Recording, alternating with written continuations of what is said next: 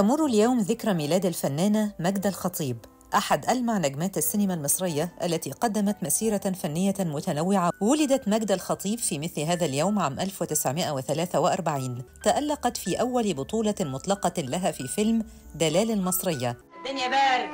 عايزين نشتري مانتو. ابعدي عني بقول ما تحطش إيدك عليا. الله بتاخد عليا ليه؟ ما تكلميها هنا. ما تديها كده يا معلم اخرس انت مالكيش دعوة. خرست يا أختي؟ طب هي مراتك وبتخرس لكن أنا بقى من يوم ما اشتغلت في المخروبة دي ما خدتش ميلة. بتاخد شقايه ليه؟ مالكيش حاجة عندي. والأنسة سمارة لسه مش عاجبها الفيلم الأخير. الحقيقة زي ما قلت لك ما تزعلش مني يا أستاذ رجب. هو موضوع مكرر وملوش دعوة بمجتمعنا. بالعكس بقى الفيلم ممتاز. والدراما زي ما أنا درست في الكلية مش ضروري تعبر عن المجتمع. وأنا شخصيا الفيلم عجبني. أنت درستي دراما فين؟ أنا في كلية الآداب. الظاهر بتنسي وتروحي كلية الزراعة. ليه بنت؟ مش مالي إيدك منه ولا إيه؟ طب ده أنا خلعت لما لقيته بيحبك.